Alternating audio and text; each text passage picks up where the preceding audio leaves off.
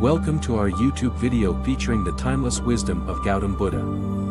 From the depths of his enlightenment, Buddha shared profound insights on love, happiness, and the power of self-transformation. Get ready to be inspired.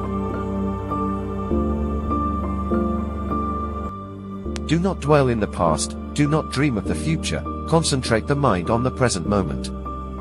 Every morning we are born again. What we do today is what matters most. You will not be punished for your anger, you will be punished by your anger. We are what we think.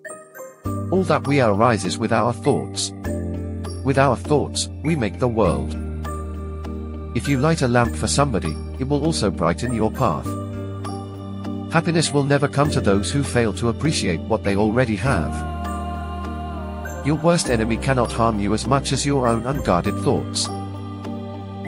Train your mind to see something good in everything. The quieter you become, the more you can hear. No matter how hard the past, you can always begin. Don't forget to like, comment, share, and subscribe, and hit that notification bell for more motivational and inspirational quotes like this one. Thank you.